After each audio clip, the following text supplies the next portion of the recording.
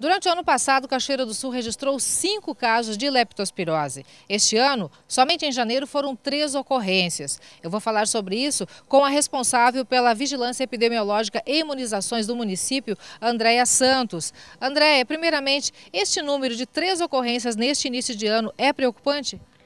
Bom, esse número ele se caracteriza uh, por transmissão de modos diferentes. Né? O, só o número de três casos ele não justificaria um alerta epidemiológico, mas na oportunidade a equipe uh, achou importante fazer para lembrar os profissionais e a população que fiquem atentos aos sinais e sintomas dessa doença e principalmente aos sinais dos locais que podem estar infestados por ratos, que é o principal transmissor dessa doença. A leptospira, que é a bactéria causadora dessa doença, ela é encontrada na urina dos ratos. Esse é o principal vetor, como outros uh, mamíferos, animais de, de produção também, que podem estar contaminados e uh, contaminar o meio ambiente também. Nesta época do ano, o perigo está mais eminente. É, nessa época do ano, uh, por causa das chuvas e inundações de algumas áreas, as pessoas ficam mais suscetíveis ao contato com, esse, com essa bactéria. Então, em situações de lazer ou de trabalho, as pessoas podem estar em ambientes contaminados e se expor, não tendo cuidados básicos para evitar essa transmissão, essa contaminação com essa doença. As próprias enxurradas que têm ocorrido nos últimos tempos também são situações de risco. Sim, porque o rio sobe, uh, acaba ocasionando alagamentos e trazendo lamas do rio para dentro das casas ou ambientes que têm a urina do rato com a água, ela se dilui e se transmite para uma área maior, né? para, um, ambientes de residência ou até mesmo de trabalho, de atividades laborais, galpões, pode estar contaminados. Então, quando as pessoas fazem a limpeza desses ambientes, em casos de alagamentos, lama, tem que ter cuidados específicos para não se contaminar. Assim, como as pessoas que vão procurar um local para lazer tem que dar uma investigada primeiro se tem um acúmulo de sinais de fezes, por exemplo, do roedor, ou se é um local uh, muito suscetível com lixo, alguma coisa que pode estar alimentando esses roedores, esse local pode estar contaminado.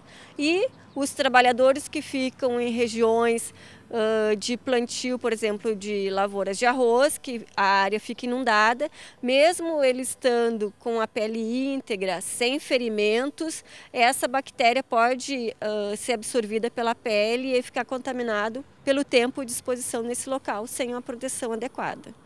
Que sintomas podem indicar a ocorrência de leptospirose?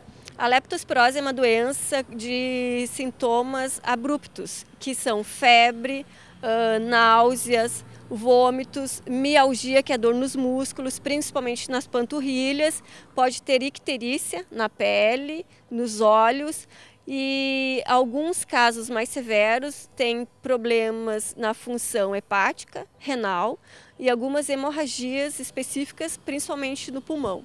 Então, em alguns casos, a pessoa pode ficar numa situação grave da doença em 24 horas.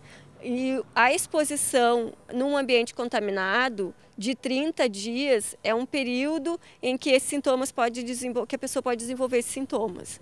Então, quando a pessoa tem um, uma exposição nesses ambientes e sente algum desses sintomas, ela deve lembrar de citar para o profissional da saúde que esteve num ambiente uh, que podia estar contaminado, né? nessas situações, ou de enchente, ou limpeza de fossa, ou lazer num, numa pescaria ou até mesmo numa atividade de laboral uh, relacionada, citado antes, né, às lavouras.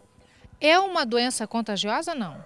Essa, essa é uma doença de zoonoses. Uma pessoa transmitir para outra e tem pequenos, pequenos relatos em, em alguns casos, não, mas é muito raro. Geralmente o vetor contamina o ambiente e as pessoas se contaminam neste ambiente. Né? A gente lembra do roedor, que é o principal vetor, né? porque ele circula em vários locais em períodos de tempo, então ele entra nas residências, a gente tem que proteger a casa com cuidado simples e e os animais, uh, como cavalo, equinos, porcos, eles também podem estar, estar contaminados, não desenvolver a doença, mas está contaminando o ambiente também. Aí os seus tratadores, ou no caso de ser numa região rural, aberta, as pessoas que dividem aquele ambiente também podem se contaminar. Ok, André, para a gente finalizar, eu gostaria que tu mencionasse para o nosso telespectador, de novo, sucintamente, maneiras de se prevenir contra a leptospirose. Bom, em ambientes em que pode estar contaminado, as pessoas têm que evitar usando uma proteção. Se precisa lavar uh, um ambiente num balneário, alguma coisa que teve uma enchente, se proteger, se não tiver a bota, o EPI disponível, mas que use um saco plástico um, um de material impermeável. Dentro das próprias residências, para evitar atrair esses roedores, os principais vetores, a gente tem que manter o lixo uh, bem acondicionado. Quando a gente for colocar para ser uh, recolhido pelas empresas, colocar bem fechado, não no chão porque atrai. O, sistema de esgoto que vai até a casa da gente, que as tampas sejam pesadas, de ferro, porque esses vetores eles circulam dentro das residências e se a gente tem o lixo, alguma coisa que atraia, o número é maior e mais vezes ele entra em contato com a residência, né? deixando no seu caminho a urina, que é o local que vai estar contaminado.